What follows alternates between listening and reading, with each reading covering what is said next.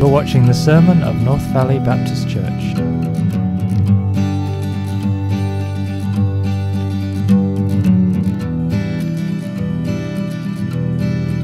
This week's sermon is preached by Pastor Scot McGrady.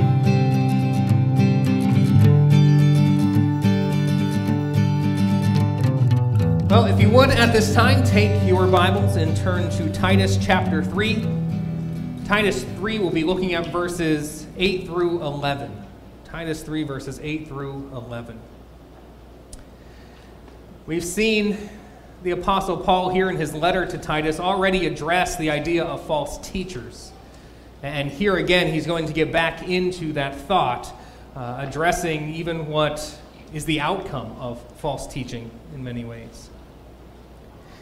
But I think that we need to really consider this and understand the warnings that are in the New Testament of false teaching within the church and, and how it can worm its way in and, and very casually and uh, very uh, just making us unaware as it can come in among us. And so we must be aware and understanding of taking everything back to the scriptures, everything we hear, everything uh, that we go over, whether it's here or something you hear on the radio or whatever it is, bring it back to the authority of God's word and say, is this what God's word says? And standing there on that truth. So we have to understand the danger.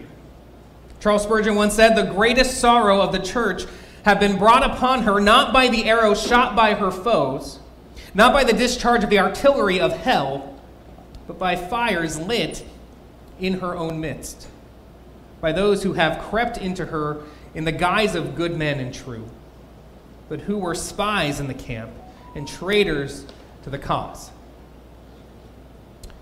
False teachers don't come with big signs saying, hey, we're false teachers. Look at us. And very often they don't come in with just the blatant things that we all can recognize and point to as heresies and saying, oh, well, you know, we don't, we deny Jesus was God. We completely throw that out. No, they, they don't come in so overtly. No, they, they come in and, and they, they seem as, as good Orthodox followers of Christ, and they can, yet in that way, worm their way in and just bring in subtle teachings that can grow and grow and, and have an effect and take an influence. And, and so we, again, always must be aware and be taking things back to and testing against the authority of God's Word. Last week we saw the attitudes that Paul said should be in the church. This includes sub- a submissive attitude to obey the governing authorities, ready for every good work and then an attitude towards others uh, of being peaceable and gentle, uh, speaking evil of no one, and showing perfect courtesy towards all people, without exception, towards all people, even those who are not very courteous and kind and gentle towards us. And why should we do this? Why should we be courteous towards people who are rude to us, who are cruel towards us? Why should we have a submissive attitude, looking to submit to the government everywhere possible, recognizing that there may be times where it is not possible, where we submit to Christ first in all things, but looking always, no matter what, to submit where we can, having a submissive attitude? Why should we respond to a government that we may strongly disagree with? Why may we respond to a government with an attitude of submission when we feel they have not done much good for us. And why should Christians all over the world, even facing t- such tyranny that many do, have an attitude of submission? Why should we be so kind to others who have not been kind to us? Because the truth of the matter is, you and I, no matter what wickedness is around us and out there, you and I have not been really any better. We have not been any less wicked in of ourselves, especially towards our Creator. I myself know better. I myself, one who spit in the face of the one who created me for himself and living for myself, and yet he showed me such kindness and goodness, such mercy in saving me. And so we see as we come to our text here for this morning, and we look at verses 8 through 11. In verse 8, Paul refers back to what we read last week as a trustworthy saying, and that Titus was to insist on all that we read Paul said last week for the purpose of good works. And then as we come to verse 9, we have what, instead of what Titus is to insist on, we see the things that the church is to avoid altogether. And then verses 10 through 11, we have the false teachers or a divisive person and how they're to be dealt with. And so let's go to our text here for this morning Titus chapter 3, verses 8 through 11. The saying is trustworthy. And I want you to insist on these things so that those who have believed in God may be careful to devote themselves to good works. These things are excellent and profitable for people. But avoid foolish controversies, genealogies, dissensions, and quarrels about the law, for they are unprofitable and worthless. As for a person who stirs up division after warning him once and then twice, have nothing more to do with him, knowing that such a person is warped and sinful. He is self condemned. So now, as we see here, Paul has pointed at the Christians, those who are saved, including himself, as we saw back in verse 3, including each one of us, with all the doctrine that Paul had gone over there in verses 3 through 7. He then refers back to this gospel truth here in verse 8 as a trustworthy saying or trustworthy word. That we were so foolish and disobedient. And to sum up everything that we saw him say last week there in verse 3, we were wretches in every way. But when the goodness and loving kindness of God our Savior appeared, he saved us, not because of works done by us in righteousness, but according to his own mercy. He cleansed us and he changed us by the Holy Spirit, whom he poured out on us richly through Jesus Christ our Savior so that, being justified by his grace, we might become heirs according to the hope of eternal life. This, Paul says, is a trustworthy saying. And so Paul told Titus that all that comes from this trustworthy word, the attitudes that are based in the gospel truths, he wanted Titus to insist on them.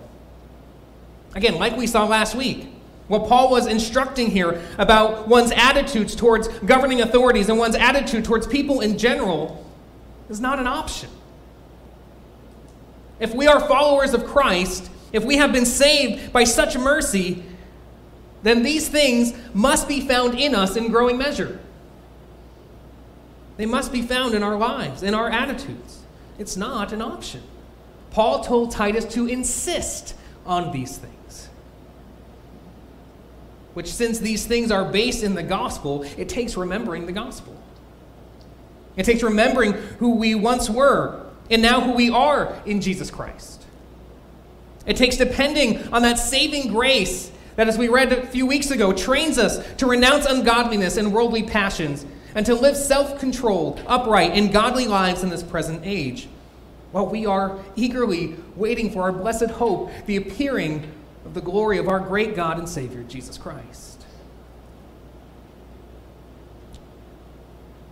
So Paul said, Titus, you need to insist on these things.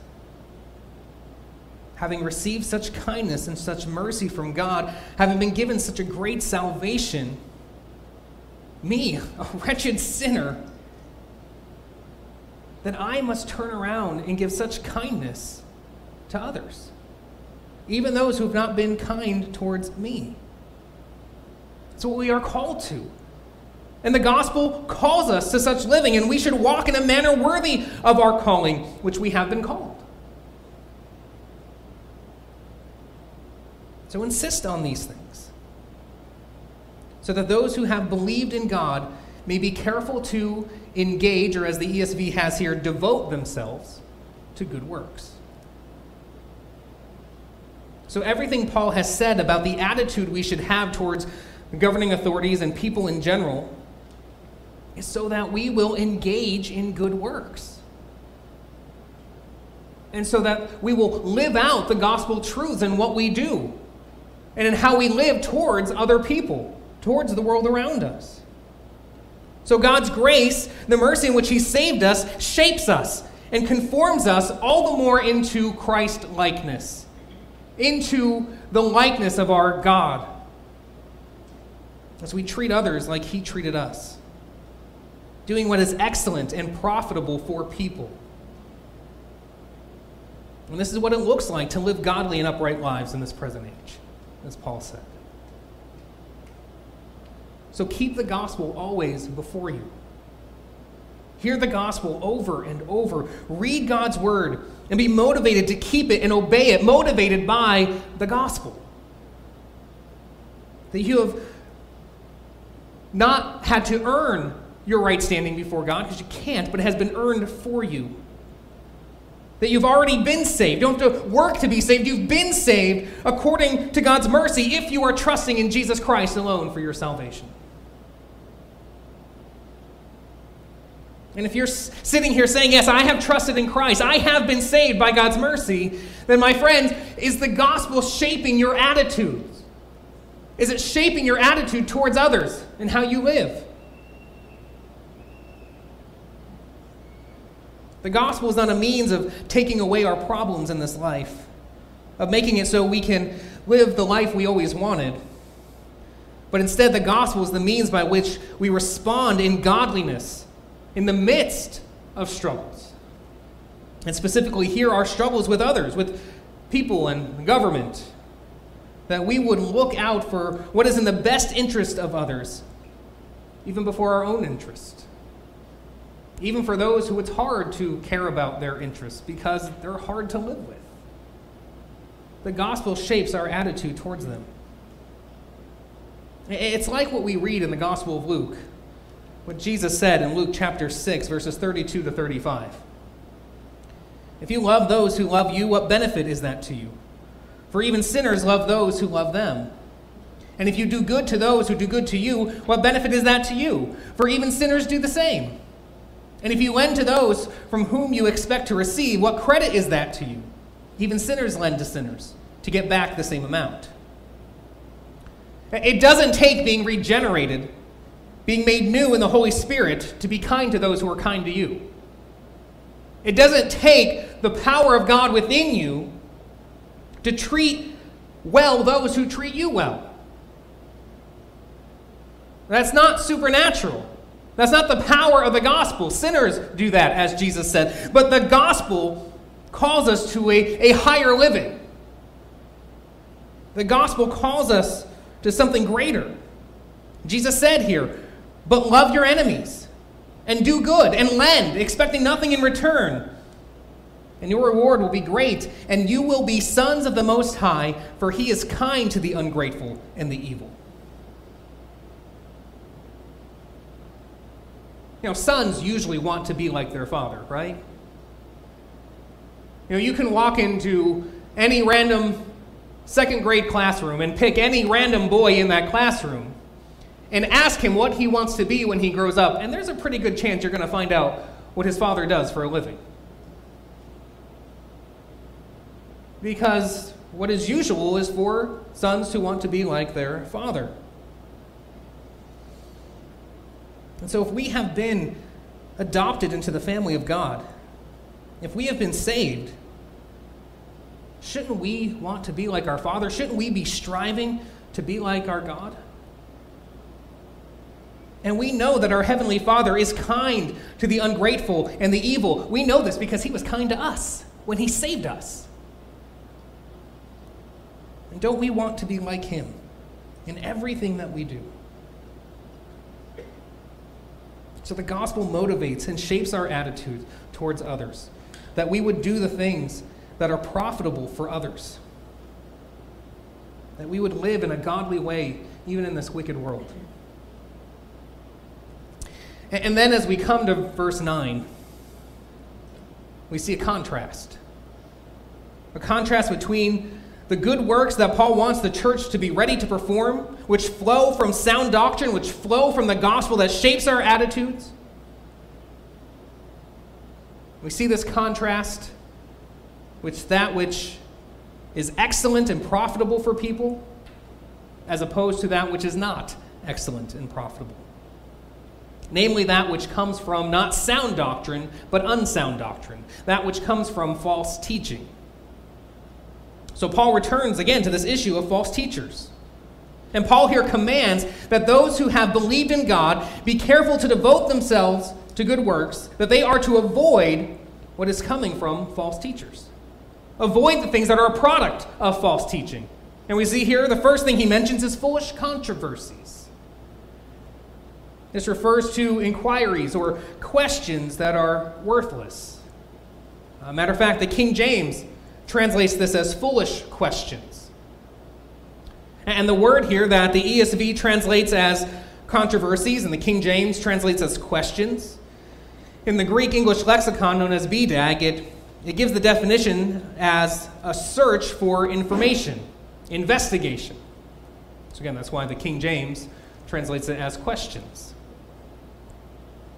So, as we think of this being foolish questions, uh, uh, we know the saying that there is no such thing as a stupid question, right? We know that saying, and, and you know, for the most part, it's right, right?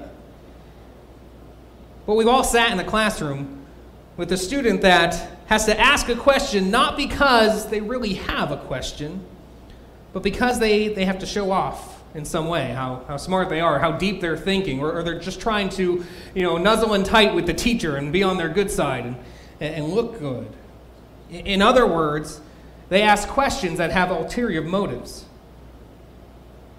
And so, too, I think these are questions that Paul is referring to that have ulterior motives. Those who are raising questions not so that they can learn or to help others learn, not for any profit for any reason, but are asking questions in order to raise questions, to usurp authority, to cause division, to have it their way instead of being submissive to God's word or to God's appointed leaders. They are foolish questions.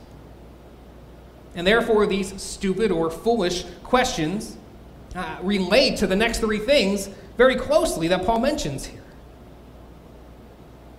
And these things must be dealt with, and we must respond to them rightly. And we even see Paul talking about such things in his second letter to Timothy, which he would write sometime after writing to Titus. And we see in 2 Timothy chapter 2 verse 23, he says, "Have nothing to do with foolish, ignorant controversies. You know that they breed quarrels. They cause problems within the church. They break up the unity and harmony within the church. And there's supposed to be unity within the church. Yes, unity that is, that is around truth. Absolutely.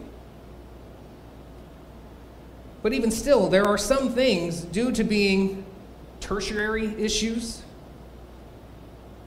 that are just not worth diving into and bringing up and, and fighting over.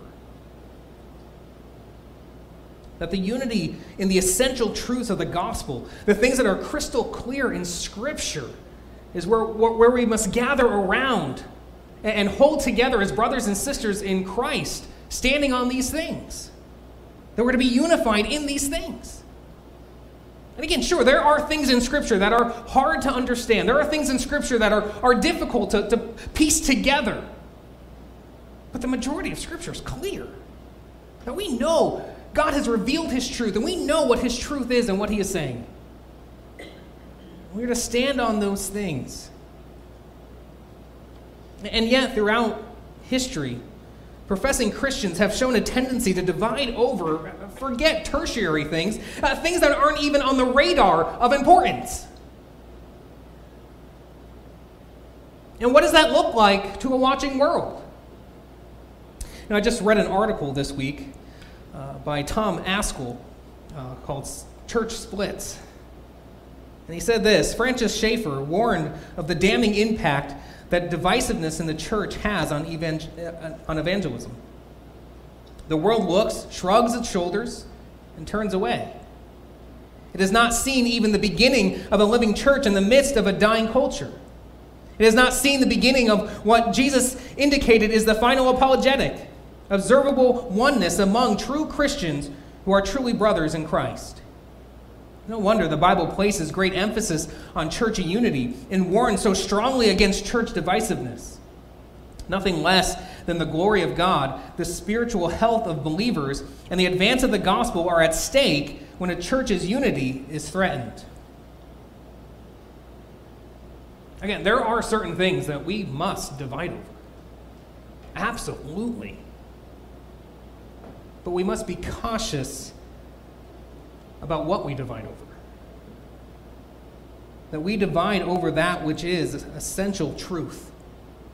That we divide over the things that threaten the unity in the church. We divide over the things that, not, that are not of God. The things that are of gospel importance. And we must rid ourselves of all that causes disunity. And so we see here, we get a little window into the things that were going on on the island of Crete while Titus was there at that time. And there were things causing disunity and, and false teaching and the product of that going on in the church there. And so Paul says to avoid those things, avoid foolish controversies, avoid genealogies, dissensions, and quarrels about the law. Don't engage them, avoid them. And whatever all is in reference with these things, at the very least, it's pretty clear that Jewish myths and traditions are what's in view here. Remember when we were in chapter 1, and we read in verse 10, Paul said, For there are many who are insubordinate, empty talkers, and deceivers, especially those of the circumcision party. And as we discussed that verse there in chapter 1, we discussed that it would seem that the false teachers on the island of Crete must have been Judaizers. Uh, those who undermine the gospel of grace by adding works of the law to it. Now, yeah, you, you need Jesus to be saved. You need what he did, but he's not enough. You have to add your own works of the law to him. That, that undermines the true gospel of grace. And the reason that Paul gives for commanding that these things be avoided is for they are unprofitable and worthless. And so, again, these are in contrast to the good works that come out of sound teaching, which are excellent and profitable for people.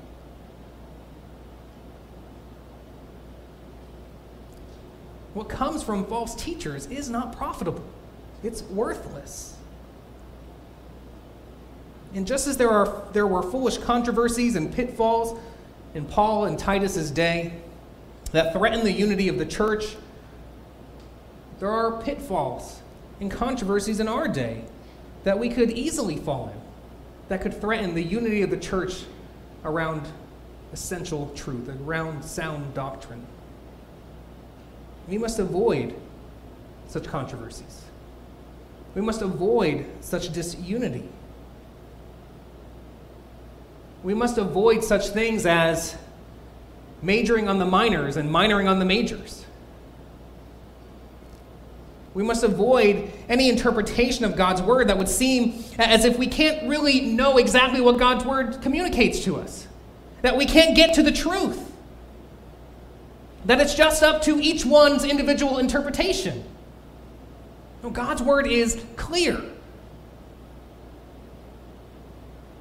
We must avoid any, anything that would misrepresent a mishandling of the scriptures and bending the scriptures towards our own preferences and opinions.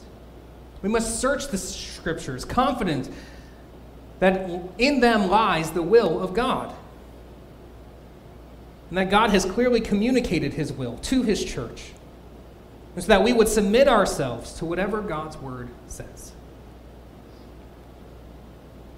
Avoid dissension. Avoid arguments over what is unimportant and what is not true.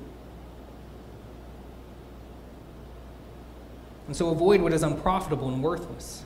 Avoid what causes division, what threatens the unity of the church.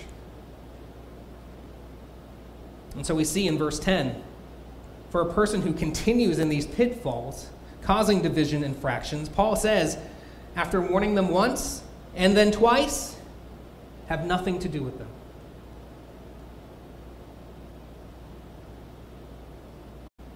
You know, we can spend a lot of time getting caught up in controversy and getting caught up, caught up in, in, in the questions that are, are meant to divide and debating with others about areas of doctrine that are clearly wrong from Scripture. But Paul does not say spend your time arguing with the false teacher, spend your time trying to convince somebody. Paul says warn them once, warn them twice, and then have nothing to do with them. There is better things we can do with our time, right? Uh, there are those with soft hearts that are longing to know God's Word and want to grow in His Word that we can be investing ourselves into. There are those whom God is working in their hearts to draw them to Himself as He calls us to go and proclaim the gospel. We shouldn't waste our time with those who are unteachable.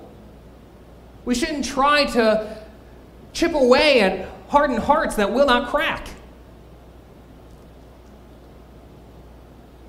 Paul says, don't do that. When someone is causing division, getting people to follow them by meaningless arguments and speculation, such a one is a divisive person. And Paul says, warn them once, warn them twice, and have nothing to do with them. And what Paul is advocating here is church discipline. Paul commands. It's a command to have nothing to do with them, to disassociate from them. Obviously, if a person is warned once and they repent, then things do not need to go any further. Or if it takes warning them twice for them to repent, uh, it's too bad. But nonetheless, if they've repented after two warnings, then the matter's done with and we move on. But if after two warnings, this divisive one still will not repent, then to, they are to be disciplined. And why? Well, because we recognize the seriousness of the matter. The testimony of the church in holding to the unity is at stake. And so, too, the dangers of, of letting the divisive false teacher with worthless speculations continue on is a danger to themselves. It's not good for them. It's a serious matter, and we must show them the seriousness of their lack of repentance. It's the loving thing to do. And two, to allow a divisive person to continue on in their divisiveness, again, is a danger to the church. It's a danger to all of us here together, striving to maintain the unity of the Spirit. And so it's not loving to the church as a whole to allow someone to continue on. They must be dealt with. We must see the seriousness of the matter. Warn them once, warn them twice, and then disassociate from them. Have nothing to do with them. Paul says, for such a person who is so stubborn, refusing to repent, verse 11, he says they're warped. You could say they're perverted, morally turned aside. He says they're sinful, or literally could be translated as that he keeps on sinning. His error has been made known to him, and so he is responsible. He is self condemned. As if after being warned, he continues in his divisive ways. He will not listen to the warnings, he will not submit to the authority of God's word, the authority that he is under. The danger they are to themselves and to the church, they must be dealt with.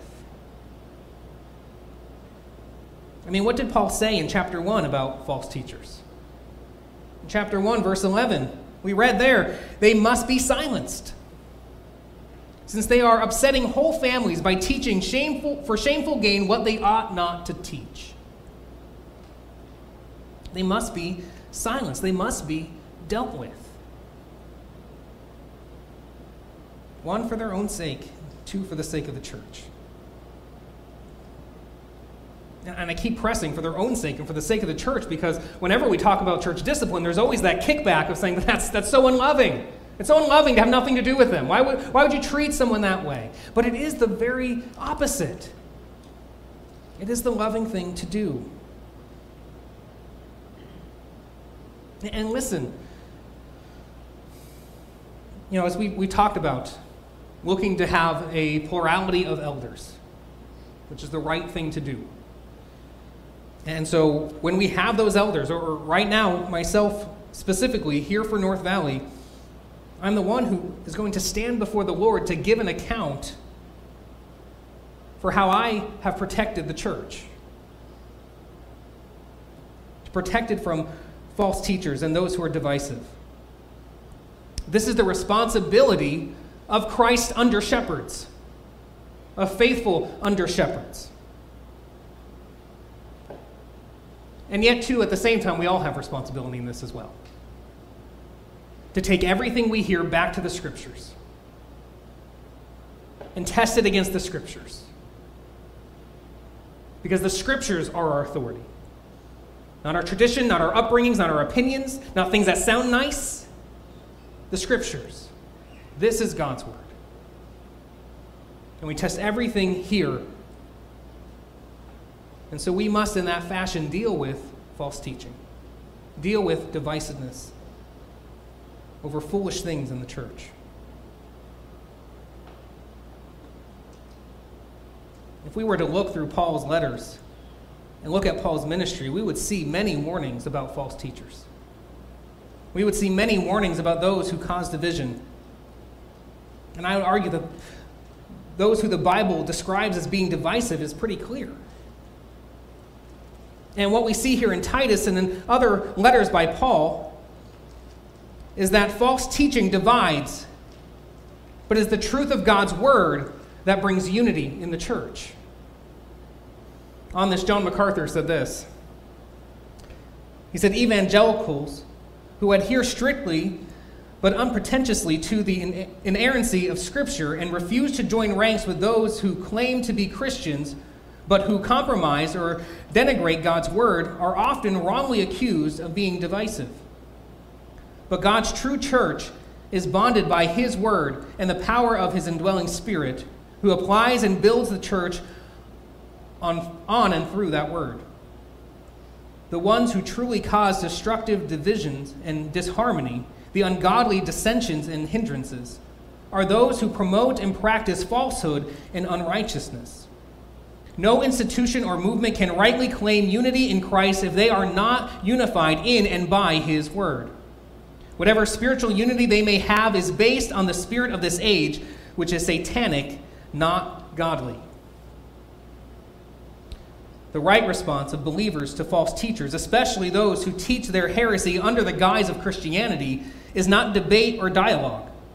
We are to turn away from them, to reject what they teach, and to protect fellow believers, especially new converts and the immature, from being deceived, confused, and misled. Paul often argued and debated with unbelievers, both Jews and Gentiles. He did not, however, provide a platform for those who profess Christ but taught a false and perverted gospel. Protecting against false doctrine is so vital to the health and the unity of the church. This is undoubtedly a loving thing to do. And going along with what MacArthur said, I had read recently, um, I don't remember where I read it or, or who said it, uh, but they were talking about the fact that when you read the scriptures, the one standing for true doctrine, even in standing for true doctrine, calling out the false doctrine, that one is never accused of being divisive. The one who is guilty of being divisive in the Bible is always the false teacher. Always. And I think, especially in our day, that's something we need to consider and think on. Because we live in a day that whenever we speak the truth, we're the ones called divisive. But that's not where the Bible stands. Even when we call out what is false and what is wrong, it's the false teacher. It's those promoting false doctrines that are divisive. The church is unified under sound doctrine, under committing to God's word as our authority in our lives. We must hold firm to God's word. We must hold firm to the true gospel and have nothing to do with anything that comes against it, that contradicts it. I think here too is he, the things that he lists and how he describes these things as they're worthless. that we see here those who take trivial things and divide the church by making them essential things also qualifies as a divisive person. Trivial things, false teaching here in this text, these things are not worth debating, not worth arguing over. Instead, they are to be avoided. Those who cause division are to be silenced, having nothing to do with such a one. We are to disassociate with them. As Paul told Timothy, the church is the pillar and foundation of the truth. Meaning that in the church, it's, God's people, his redeemed people, who hold up and proclaim the truth, who proclaim the gospel to the world.